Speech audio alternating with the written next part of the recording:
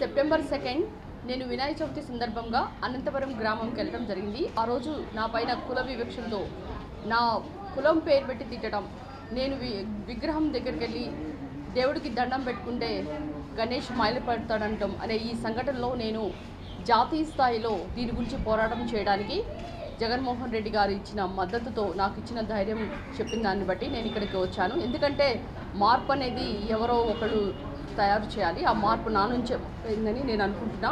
ఎందుకంటే ఎంతకాలము ఈ దళితులందరూ కూడా బానిస బ్రతుకు బతుకుతారు దళితులందరూ కూడా మార్పు రావాలని నినాదంతో నేను ఇక్కడికి వచ్చాను.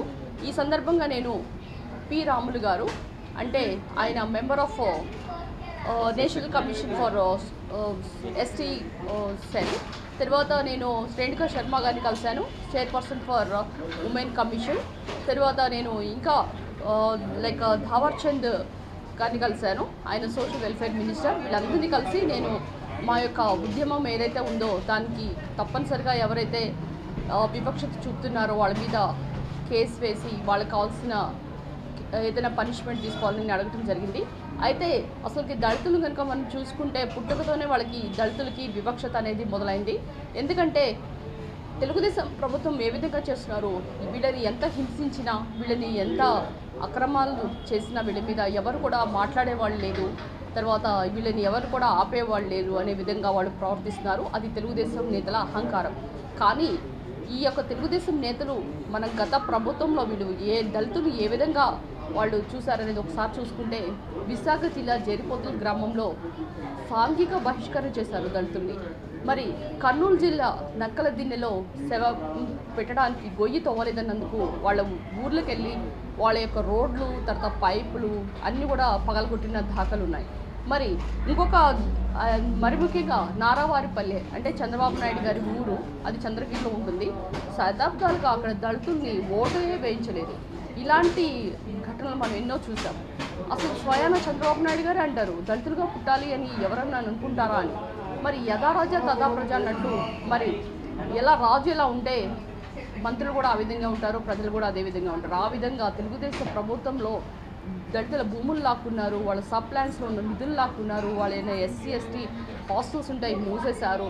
వాళ్ళకి ఎలాంటి ఇంతవరకు రెండు వేల పైనగా పోస్టులు ఉంటే ఆ పోస్టులు కూడా ఇచ్చిన దాఖలు లేవు. ఆ విధంగా జరిగింది ఆ ప్రభుత్వం. మరి నేను ఒకటే చెప్తున్నా మహిళలందరూ ఒకే విధంగా సమన్వయమని చెప్తున్నారు కానీ దాన్ని నేను ఒప్పుకోను. ఎందుకంటే ఈ యొక్క మహిళల్లో మరి ముఖ్యంగా ఈ యొక్క దళిత బాలికల మీద దగ్గర దగ్గరగా ముప్పై మూడు శాతం వాళ్ళ మీద అత్యాచారాలు జరుగుతుంటాయి. అగ్ర కులాల బాలికల మీద ఓన్లీ పంతొమ్మిది శాతం మాత్రమే అత్యాచారాలు జరుగుతున్నాయి.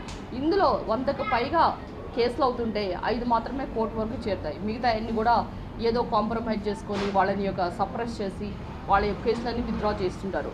మరి చాలామంది మీరు ఒక పోయం చదివి దేశం అంటే మట్టి కాదో ఈ దేశం అంటే మనుషులు అని సాంఘికవేత్త అభ్యుదయ రచయిత అయిన గురుజాడ అప్పారావు గారు అంటారు కానీ ఆ మహానుభావుడు ఏమన్నాడు కానీ చంద్రబాబు నాయుడు గారు మాత్రం ఒకటే మాట అంటాడు. దేశం అంటే మనుషులు కాదు. ఈయన ఆయన ఉద్దేశంలో ఏంటంటే దళితులంటే మట్టి బొమ్మలు ఓటు రాజకీయాలు వీళ్ళు చేస్తారు. వీళ్ళు ఓట్లేసే మిషన్లు మాత్రమే ఒక యంత్రాలుగానే వా వాడుకున్నాడు.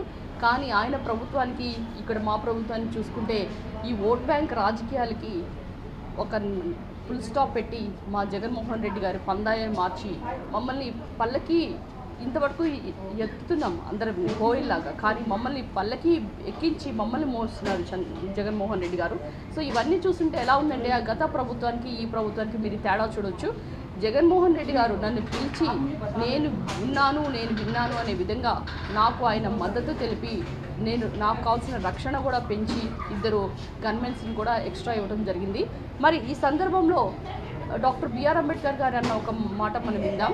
ఆయన అంటాడు కులం పునాదుల మీద మనం ఎలాంటి నీతిని కానీ జాతిని కానీ మనం నిర్మించలేమని కనుక కులం అనే దాన్ని ఏ విధంగా వీళ్ళు తయారు చేశారంటే ఎస్సీలంటే దళితులంటే అంటరాని వారు. అది ఎమ్మెల్యే కానివ్వండి ఒక ఎస్ఐ కానివ్వండి అధికారులు కానివ్వండి. నిన్ననే ఒక మనం ఒక ఘటన చూసాం. నన్నపనేని రాజకుమారి గారు అండ్ మాజీ ఉమెన్ కమిషన్ చైర్మన్. ఆమె ఏమన్నదండి? ఒక ఎస్ఐని చూసి దళిత ఎస్ఐని చూసి మీ దళితుల వల్లే ఈ దరిద్రం అంటుంది. ఇంకా ఇలా చెప్పుకుంటూ పోతుంటేనే ఇక చింతమనేని ప్రభాకర్ కానీ ఆదినారాయణ రెడ్డి గారు కానీ ఇన్ని భాషలు ఎలా ఉన్నాయంటే అసలు దళిత నేతలే ఈ యొక్క దళిత జాతికి అడ్డంకులుగా మారారు.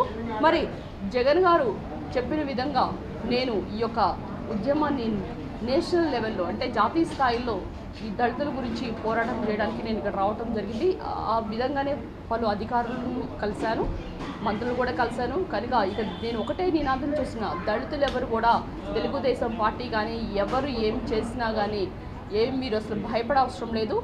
మీరు ఎలాంటి వివక్షకు గురి అయినా హింసకు బలైనా మీ అందరూ కూడా పోరాటానికి రెడీ అవ్వాలి. ఎందుకంటే చట్టంలో శిక్షలు చాలా కఠినంగా ఉంటాయి. ఇలాంటి ఏమైనా జరిగితే మీ ముందు నేనుండి మీ తరపున న్యాయం జరిగేలాగా నేను చూసుకుంటానని ఇది ఆరంభం మాత్రమే కానీ అంతం కాదని నాకు జరిగిన కేసులో కూడా అందరి నిందితులకి కావాలి వాళ్ళకి తగు శిక్షలు పడాలని కూడా ఇందులో కూడా నిన్న ధవర్చంద్ గారు కూడా చెప్పడం జరిగింది.